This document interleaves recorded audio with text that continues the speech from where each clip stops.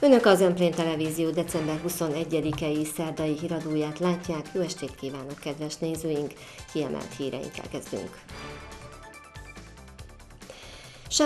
helyt a szülővárosát támogatja Váberer György, a tehetségek felkarolására alapítványt is létrehoznak. Jó tanulókat, jó sportolókat díjaztak Sáros patakon. Már csak néhány napjuk maradt a vállalkozóknak mentességet kérni a szemétszállítási díj fizetése alól. Magyarország hetedik leggazdagabb embere szülővárosában helyben jótékonykodik karácsonykor. Ma érkezett meg az a 400 élelmiszer segélycsomag, amelyet Váberer György támogatásából állítottak össze a nehéz anyagi körülmények között élő családoknak. A támogatáson túl az ismert üzletember egy alapítványt is szeretne létrehozni, amelyel elsősorban zemplédi hátrányos helyzetű fiatalokat segítene diplomához, szakmához juttatni. Az Egyesített Szociális Intézmény Hősök terei épületének udvarára érkezett meg az a segélyszállítmány, amelyet az ismert üzletember Váberer György küldött a sátoraljaújhelyi szociálisan hátrányos helyzetű családoknak. A közúti fuvarozásban jelentős vagyonra szertevő sátoraljaújhelyi származású vállalkozó a közelmúltban találkozott a város polgármesterével, akinek jelezte, szívesen adományoz szülővárosában is. Így került most ide az élelmiszersegély 400 család karácsonyát gazdagítva. A támogatáson túl más tervei is vannak az üzletembernek. Szeretnék segíteni abban, hogy itt az ünnepek alatt legalább mindenki megfelelő szintű hús készítményeket tudjon fogyasztani, ez volt az egyik apropó. A másik pedig, hogy egy, egy alapítványt fogok létrehozni, amiben szintén így a ilyen olyan gyerekeknek szeretnék főleg segíteni, akik, akiknek a tanulmányainak a biztosításához a, a családi háttér nincs teljesen meg. A szociális osztály munkatársai és az Egyesített Szociális Intézmény szakemberei olyan családokat választottak ki, ahol vagy kiskorú, vagy éppen idősebb ember is él. Tudják, karácsonykor sincs több pénz élelemre, mint az év többi napján. Nagyon köszönjük ezt, nagyon-nagyon szép dolog, hiszen így biztosak lehetünk abban, hogy mindenhova jut szenteste is egy finom kis finomság az ünnepi asztalra. A kiosztásban az Egyesített Szociális Intézmény eh, dolgozói kollégái segítenek, illetve a polgármesteri hivatal eh, kollégái, a kollégáink, mégpedig úgy, olyan módon, miután az idő nagyon kevés, hiszen ma szerda van, hogy megpróbálják kivinni eh, autóval ezekhez a családokhoz a csomagokat, akiket pedig nem találnak otthon, ott egy levelet hagynak, amivel jelzik, hogy még van két nap, hogy átvegyék a Hősök terei szociális otthon udvarán ezeket, a, ezeket az ajándékcsomagokat. Váberer György nem felejtette el ezt a vidéket. A közelmúltban egykori iskolájának a református gimnáziumnak adományozott fejlesztésre, a jövőben pedig zempléni hátrányos helyzetű fiatalok tanítatására szeretne ösztöndíjat alapítani. Hagyományosan az év utolsó képviselőtestület ülésén adták át Sárospatakon a jó tanuló, jó sportoló díjakat. A helyi rendelet értelmében az alap- és középfok oktatási intézmények azon tanulói részére adományozható a díj, akik az átadását megelőző tanévben kiemelkedő sport eredményeik mellett jó tanulmányi átlagot értek el. Idén is négy fiatal részesült elismerésben a Városházán. Ünnepi momentummal kezdődött az év utolsó képviselő testületi ülése Sáraspatakon. Már hagyomány, hogy az oktatási intézmények felterjesztése alapján ilyenkor díjazzák a városi jó tanuló, jó sportoló diákokat, vagy ahogy a polgármester fogalmazott, a büszkeségeinket kitűnő tanulmányai eredményeik mellett ők azok, akik Sárospatak hírnevét megyében országhatáron belül és akár országhatáron kívül is képviselni tudják különböző sportágokban. Ebben az évben is négy tanulót díjaztunk. Perényi Anna, a második Rákóczi általános iskolának a tanulója volt az egyik jó tanuló, jó sportoló díjazottunk. Pásztor András kapta meg a Református Kollégium és Gimnázium általános iskolájának a 8. osztályos tanulója, szintén a Református Kollégiumból, de gimnáziumi korosztályban Lastócki Lili, a Református Gimnázium 13. osztályos tanulója, és az Árpád Vezér Gimnázium tanulói közül Móré Balázs volt az, aki a legszebb eredményeket érte el, mind a mellett, hogy nagyon jó tanulmányi átlagot is értek el. A jó eredményekhez is gratulált a polgármester hozzátéve, hogy a családok ereje a testnevelők és maguk a fiatalok kitartása nélkül nem épülnének ilyen szép karrierek. Ez köszönhető az iskolákban végzett nagyon színvonalas munkának, köszönhető a sport tevékenységet végző szakembereknek, köszönhető a szülőknek, akik vállalják a támogatását, hiszen egy-egy versenyen való részvétel az bizony sokszor anyagiakba, anyagi áldozatokba is kerül, és köszönjük azoknak a gyerekeknek, akik a sportot választják ebbe a mai rohanó világba. Én bízom benne, hogy ezekkel az eredményekkel majd az életben is meg tudják találni a helyüket, és abban pedig még inkább bízom, hogy itt Sárospatakon vagy Sárospatak környékén fogják tudni ezt megtenni. A díjak átadására szülők, rokonok is érkeztek, és természetesen a testnevelők, edzők sem maradtak távol, így az örömöt több közös fotó is megörökítette. Évente meg kell újítaniuk a vállalkozóknak a szemétszállítási díj megfizetéséről szóló mentességüket, hívja fel a figyelmet Sáros Patak jegyzője. Dr. Vitányi Eszter elmondta, a rendelet szerint a vállalkozóknak kell kérniük a mentességet a hivatalban, amelyet még a közszolgáltatónak is el kell juttatniuk. Az ügyintézést az érintetteknek nem árt siettetniük, hiszen már csak a héten van ügyfélfogadás a Pataki hivatalban. December 23-a péntek az utolsó ügyfélfogadási nap a Sárospataki polgármesteri hivatalban. Fontos lehet ez a dátum azoknak a helyi vállalkozóknak, akik díjfizetési mentességet kérnének a 2017-es évre. Mint ismert a helyi önkormányzatok rendeletben fogadták el, hogy bizonyos esetekben mentességet adhatnak a vállalkozásnak a személyszállítási díj megfizetése alól. Azonban nem árt figyelni arra is, hogy a kérelmet minden éven meg kell újítani.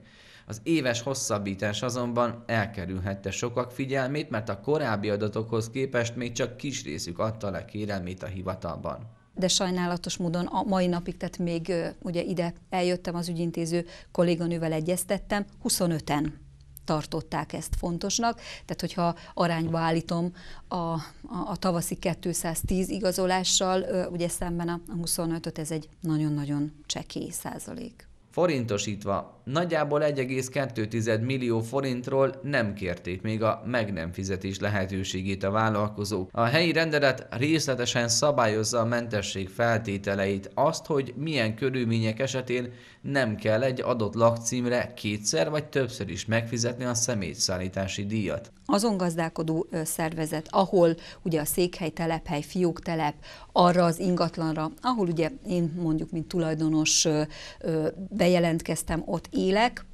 tulaj, természetes személyként én megvettem a, a kis 120 literes hulladékgyűjtő edényzetemet, és ott be is fizetem azt a számlát, ami számomra, mint természetes személynek ez megérkezik negyedévenként. A határidő azért is fontos, mert a jegyző által kiadott igazolást még el is kell juttatni a hulladékkezelési társasághoz, ahhoz, hogy ott érvényesíteni tudják a mentességet, máskülönben a negyedéves csekket újra fogja küldeni a szolgáltató. A keresztény-demokrata néppárt helyi szervezetek karácsonyi ünnepséget szervezett tagjainak. A párt az ünnepek közelettével az összetartozás és a tagjaik iránti tisztelet és szeretet jegyében rendezte meg az ünnepi találkozót. Ó, te!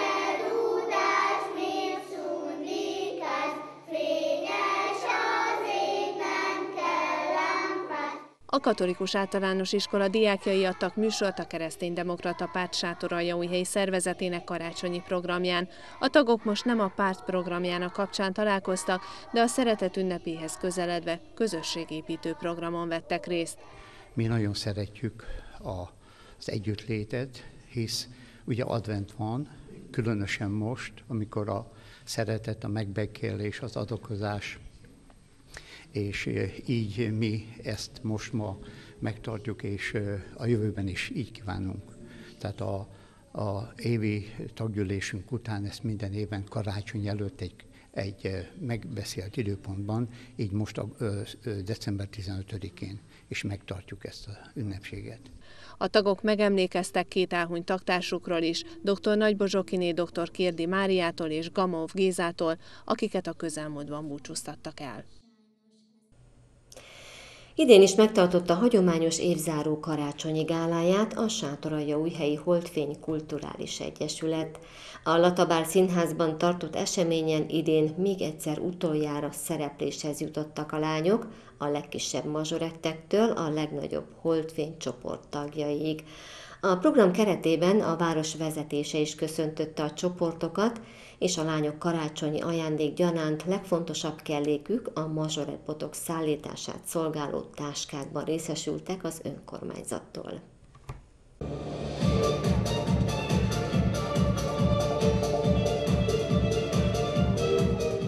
A karácsonyi ünnepkörhöz kapcsolódó táncok is színpadra kerültek a Holdfény Kulturális Egyesület évzáró gála műsorán, a már hagyományosan megrendezett mazsorettesten természetesen valamennyi táncos szerepet kapott, ahogy az év folyamán is, hiszen mozgalmasan telt a 2016-os esztendő a mazsorettes lányok számára. Számos fellépést tudhatnak maguk mögött, és nem utolsó sorban idén ünnepelte fennállásának 20 éves évfordulóját az újhelyi mazsorett.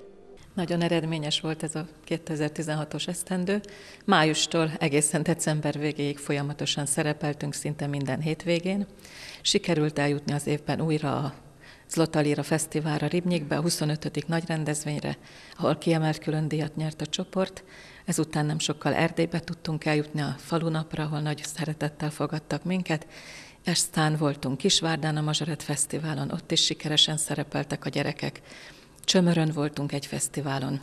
A szervezet jó kapcsolatot alakított ki Emődváros fúvózenekarával, illetve a budapesti Keil Ernő fúvózenekari egyesülettel.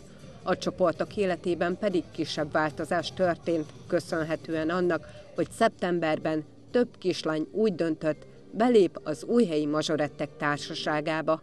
18 új kislány jelentkezett nagy örömünkre a mazsorettek közé. Vannak benne egészen picurkák, négy évesek, és felső, alsó és felső tagozatos kislányok is nagy igyekezettel tanulnak. A nagyok segítenek nekem ebben a munkában. Bíró Aletta az, aki az egyik csoportot fölkarolta, és segítkezik a próbák vezetésében. A másik csoportot Papnik Aletta segíti, aki visszajött a városba nagy örömünkre, és hát a mazsoret mellé áll teljes szélességében újra. És a egyik új utánpótlás csoportot, amit most új holdfénynek neveztünk el, azt pedig Baratti Blanka vezetgeti, segíti őket abban, hogy fölkerüljenek majd egyszer a nagy csoportba. Természetesen hát minden csoportot azért én koordinálok és irányítok, csak vannak segítőim. A januári jól megérdemelt pihenést követően úgy tűnik, ismét mozgalmas évnek néznek elébe a mazsorettes lányok, Ismét meghívást kapott a csoport Lengyelországba, de óbecsére is várják az újhelyi mazsoretteseket.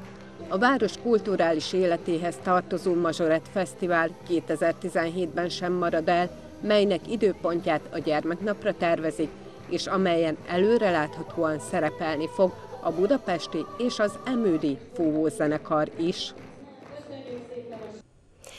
Nyolc hétig tartott a Magyar Vörös Kereszt Zempléni Kistérségi Szervezetének adománygyűjtési akciója. Mint arról korábban beszámoltunk, rászoruló családoknak gyűjtöttek sárospataki élelmiszerüzletekben tartós élelmiszereket. Szombatonként az Árpád vezér gimnázium és kollégium diákjainak, valamint tanárainak közreműködésével fogadták a lakosság felajánlásait. Most a Vörös Kereszt a segítőket látta vendégül, valamennyi AVG-s diáknak és tanárnak köszönetet mondva a segítségükért.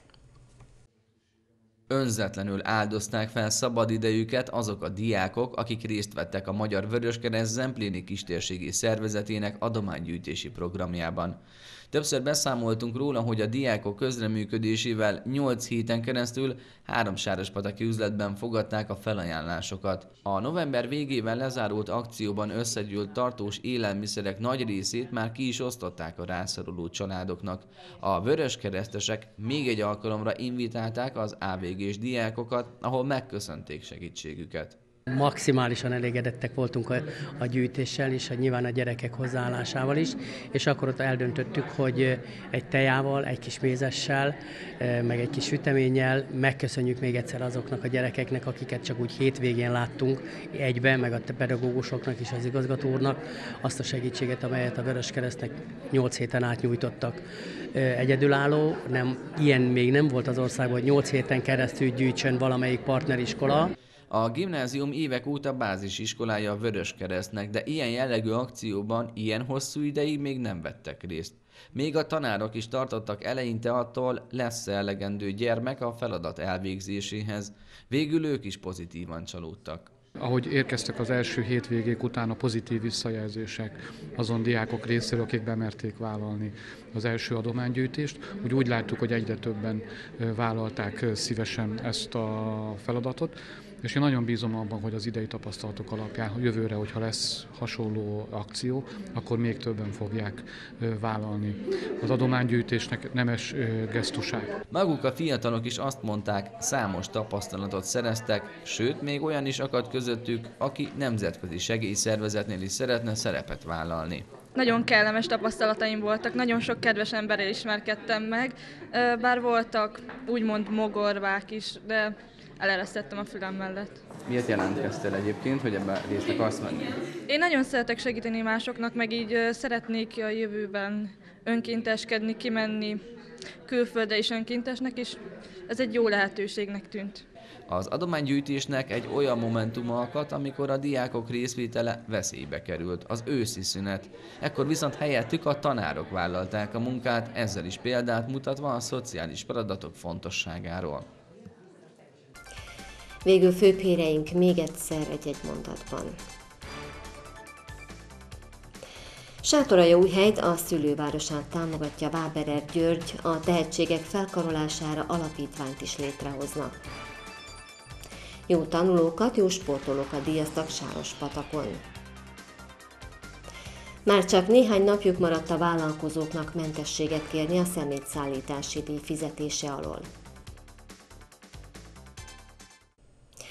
Kedves nézőink, Önök az Emplén Televízió híradóját látták, megtisztelő figyelmüket munkatársaim nevében is köszönöm. Friss hírekkel legközelebb, holnap este 7 órakor várjuk Önöket. További szép estét kívánok viszontlátásra!